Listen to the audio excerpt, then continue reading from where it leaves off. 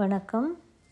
நம்ம வந்து எல்லாருக்கும் தெரியும் கத்தாழை எடுத்துக்கிட்டால் ரொம்ப நல்லது சாப்பிட்டா நல்லது ஜூஸ் குடித்தா நல்லது முகத்துக்கு நல்லது தலைக்கு நல்லது எல்லாரும் எல்லாத்துக்குமே தெரியும். ஆனால் வந்து சில விஷயங்கள் தெரியாதுன்னு எங்களுடைய சித்தகுரு கொடுத்த ஒரு டிப் இது. மற்றவங்களுக்கு தெரியாது இது ஜனங்களுக்கு சொல்லுங்கம்மா அப்படின்னு சொல்லிட்டு கொடுத்த ஒரு டிப் இது. இது என்னன்னு பார்த்தீங்கன்னா கத்தாழை வந்து நம்ம ஒரு செடின்னு நினச்சிட்ருக்கோம். ஆனால் இது செடி இனம் இல்லையா? இது மலர் இனம் அப்படின்னு சொல்கிறாரு ஏன்னா வந்து அதற்கு பேர் வந்து குமரி. இல்லையா? ஆலுவேரா வந்து கத்தாழையை குமரின்னு சொல்லுவாங்க. இது மலருக்குள்ளே நம்ம எந்த ஒரு பூ பிச்சாலுமே அதுக்குள்ளேருந்து ஒரு ஜெல் மாதிரி வரும். எந்த பூ எடுத்தாலுமே வரும். அதுக்கு அடியிலேருந்து ஒரு ஜெல் வரும். அந்த ஜெல்லு தான் இதுலேயும் இருக்குது.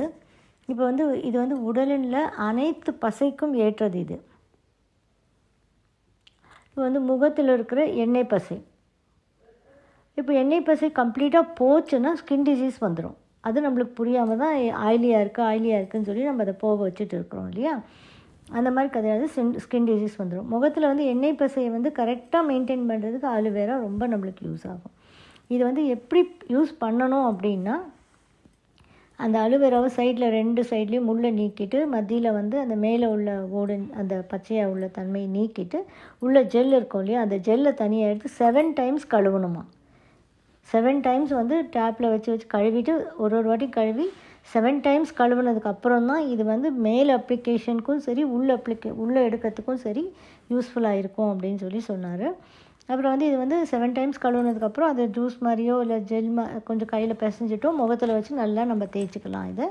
இதை வந்து ஒரு ஒரு ஒரு இன்ச்சுலேருந்து ரெண்டு மூணு இன்ச்சு வரைக்கும் கட் பண்ணிக்கிட்டு அப்படியே நம்ம சாப்பிடணும்.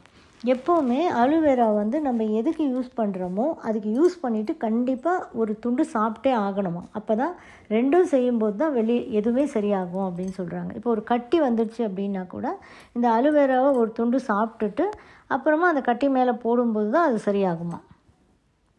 இது மாதிரி எல்லாத்துக்குமே சாப்பிட்டதுக்கு அப்புறம் தான் இது வந்து சரியாகும்னு சொல்கிறாங்க இந்த அலுவேரா வந்து வேறு எதுக்கெல்லாம் சரியாகும்னு பார்க்கலாம். முக் முக்கியமாக இன்றைக்கி எல்லாரும் பாதிச்சுட்டு இருக்கிறது என்னன்னு பார்த்தீங்கன்னா முட்டு வலி மூட்டு வலியில் வந்து மூட்டு வலி இருக்குது இப்போ என்ன பண்ணலாம் இதை? இந்த அலுவேரா எப்படி வந்து மூட்டு வலிக்கு யூஸ் ஆகும் அப்படின்னு நினைக்கிறோம் அப்படின்னா நம்ம என்ன பண்ணோம் காலையில் எழுந்து ஒரு ஒரு துண்டு அலுவேரா வந்து வெறும் வயிற்றில் சாப்பிட்டுட்டு அதுக்கப்புறமா இந்த அலுவேரா வந்து ரெண்டு சைடும் முள்ளை நீக்கிட்டு மேலே உள்ள அந்த பசையை நீக்கிட்டு அலுவேரா துண்டு நம்ம கையில் வச்சுருப்போம் இல்லையா? அந்த அலுவேராவை வந்து கையில் எடுத்துக்கிட்டு லெஃப்ட் சைடு முட்டின்னு வச்சுக்கோங்களேன். உங்களோட லெஃப்ட் சைடு முட்டியில் வந்து அந்த அலுவேரா ஜெல்லை வச்சு அப்படியே முட்டியில் வந்து அப்படியே ஆன்டி கிளாக் வைஸில் தேய்க்கணும்.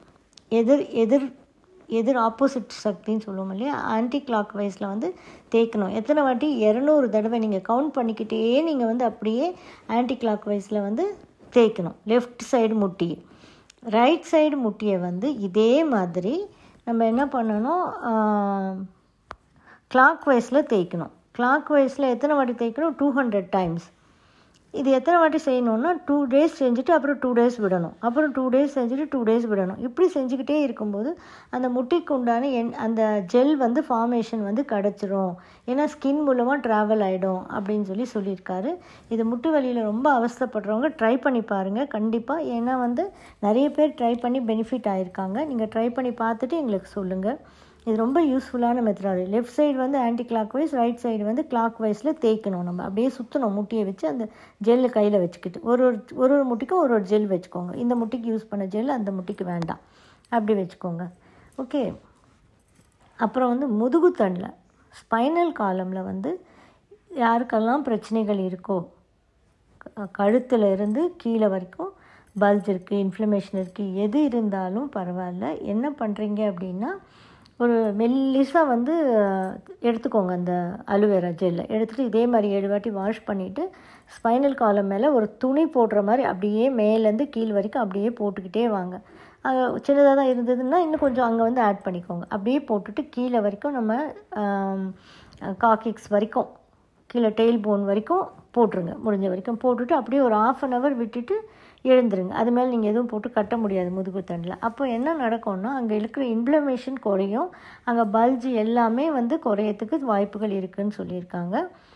இது ஒன்று அப்புறம் இன்னொன்று என்னென்னா சம்மர் வரும்போது ஒரு ரூபா காயின் அளவுக்கு வந்து வ- அந்த இதை எடுத்துக்கிட்டு அலுவேராவை எடுத்துக்கிட்டு தலையில் மேலே உச்சந்தலையில் வச்சுட்டு நல்லா தேய்ச்சி விட்டுணுமா அது தேய்ச்சிட்டோன்னா வாரத்துக்கு ஒரு நாள் நம்ம தேய்ச்சோன்னா சம்மரில் வந்து இந்த ஹீட்டெல்லாம் குறைஞ்சி பிரச்சனைகள் எல்லாத்துக்கும் உள்ள சொல்யூஷன் கொடுப்போம் அப்படின்னு சொல்லி சொல்கிறாங்க ஸோ இதையும் வந்து நீங்கள் செஞ்சுக்கலாம். இப்போ சம்மர் இல்லை பட் ஞாபகம் வச்சுக்கோங்க. ஏன்னா இது கொடுக்கும்போது அலுவேராவை பற்றி எல்லாத்தையும் கொடுத்துடலாமேன்னு சொல்லி கொடுத்துட்ருக்கேன் நான். அப்புறம் இன்னொன்று என்னென்னா கிருமி நாசினி அந்த டாக்ஸின் ரிமூவர் இம்யூன் பவர் கிருமி நாசினியாக எப்படி பயன்படும்? இது டாக்ஸின் ரிமூவராக எப்படி பயன்படும்? இம்யூன் பவர் எப்படி கொடுக்கும்? அப்படின்றது. இப்போ வந்து வேப்பிலை இருக்கு இல்லையா? வேப்பிலை வந்து ஒம்பது குழந்தை எடுத்துக்கோங்க. அலுவேரா நாலு இன்ச்சுக்கு எடுத்துக்கோங்க. நீட்டாக வெத்தில் ஒன்றே ஒன்று இப்போது இப்போ இதில் வந்து என்ன பண்ணோன்னா வே இது வந்து என்ன பண்ணோம் வேப்பிலை வந்து சகல விஷக்கிருமிகளையும் வெளியேற்றும். நச்சு தாங்காது இது. வெற்றிலை அப்படின்றது வந்து வெற்றிலை வந்து அதனோட சேர்கிற பொருளை பொறுத்து அது வந்து ரத்தத்துடன் உடனே கொண்டு சேர்ப்பது வெற்றிலை. அப்போ வந்து அதனோட வந்து என்ன சேர்க்குறோம்? வெற்றிலை ஒன்றே ஒன்று வச்சுக்கிறோம். அது கூட வந்து வெப்ப இலை. வெற்றிலை வேப்பிலைன்றது வந்து வெப்ப இலை. வெப்பம் தணிக்கும் இலையாக இது? அதனால் வந்து வெற்றிலையில் இந்த வெப்பம் தணிக்கும் இலை. வேப்பிலையை வச்சுட்டு ஒம்பது. கொஞ்சோண்டு வந்து குமரிக்கு பேர் வந்து குளுமி. வாத பித்த ஸ்லேத்துமத்தி சரி செய்யுமா இது? கண்டினியூஸாகவும் சாப்பிடலாமா இது? ஒரு வெத்தலையில் இப்போ என்னென்னா ஒரே வெத்தலை ஒம்பது வேப்பிலை கொழுந்து இளம் இளம் தளிர் கொழுந்து அப்புறம் வந்து அலுவேரா நாலு இன்ச்சு வச்சுட்டு இதை நம்ம வந்து டெய்லி கூட எடுத்துக்கலாம். நீங்கள் காலையில் எடுத்துக்கிட்டாலும் பரவாயில்ல நைட் எடுத்துக்கிட்டாலும் பரவாயில்ல எப்போ எடுத்துக்கிட்டாலும் பரவாயில்ல இது. டெய்லி கூட சாப்பிட்லாம் தப்பு கிடையாது. இல்லை ஒரு காலகட்டம் வரைக்கும் சாப்பிட்டுட்டு விட்டுட்டு அப்புறமா கூட திரும்பி நம்ம ஸ்டார்ட் பண்ணிக்கலாம். ஒன்றும் தப்பு கிடையாது. இது எடுக்கும்போது கம்ப்ளீட்டாக வாதப்பித்த கபத்தை வந்து சரி செய்தான் இது. பேலன்ஸ் பண்ணுதான். அதனால் வந்து வெற்றிலையோட கூட எது சேர்க்குறோமோ அதனுடைய குணாதிசயங்களை சீக்கிரமாக பிளட்டில் கொண்டு போய் சேர்க்கறதுக்கு வந்து வெற்றிலை வந்து நம்மளுக்கு யூஸ் ஆகுது. அதனால் வந்து இது பேரே வந்து வெற்றிலை அப்படின்னா வெற்றி இலை. எது எதை சேர்த்தாலும் இது கூட வந்து வெற்றியை முடிச்சு கொடுக்கும் அப்படின்றதுனால தான் வெற்றி இலை அப்படின்னு சொல்லி சொல்லுவாங்களாம். அதனால தான் இதுக்கு பேர் வெற்றிலைன்னு சொல்லி வந்துச்சு நம்மளுக்கு. ஸோ இதை ட்ரை பண்ணி பாருங்கள் ட்ரை பண்ணி பார்த்துட்டு யாருக்கெல்லாம் எந்தெல்லாம் பெனிஃபிட்ஸ் கிடைச்சதோ எங்களுக்கு கமெண்ட்ஸில் சொல்லுங்கள் ஏன்னா மூட்டு வலியில் நிறைய பேர் அவஸ்தைப்படுறாங்க. ஸ்பைனல் காலம் பெயினில் அவஸ்தைப்படுறாங்க. இவங்கெல்லாம் இந்த மாதிரி யூஸ் பண்ணி பார்த்தீங்கன்னா உங்களுக்கு அந்த பெனிஃபிட்ஸ் தெரியும். ஆனால் கண்டிப்பாக ஏழு வாட்டி கழுவணுன்றது மட்டும் மைண்டில் வச்சுக்கோங்க. அது மாதிரி கழுவிட்டு யூஸ் பண்ணி பாருங்கள் தேங்க்யூ ஃபார் வாட்சிங் இந்த வீடியோ உங்களுக்கு பிடிச்சிருந்தா லைக் பண்ணுங்கள் ஷேர் பண்ணுங்கள் கமெண்ட் பண்ணுங்கள் சப்ஸ்கிரைப் பண்ணிக்கோங்க. பெல் ஐக்கான் ப்ரெஸ் பண்ணிக்கோங்க ஸோ தட் நாங்கள் போடுற எந்த வீடியோவும் மிஸ் பண்ணாமல் உங்களுக்கு நோட்டிஃபிகேஷன் வரும்.